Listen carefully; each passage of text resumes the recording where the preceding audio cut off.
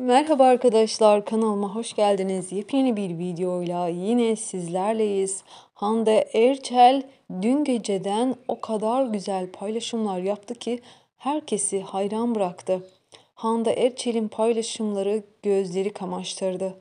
Evet arkadaşlar Fransa'ya giden Hande Erçel reklam yüzü oldu ve e, Cannes Magnum e, Film Festivali'nde o kadar güzel görüntülerle ekranlara yansıdı ki herkesi, tüm yabancı ülkede yaşayan herkesi hayran bırakmış oldu.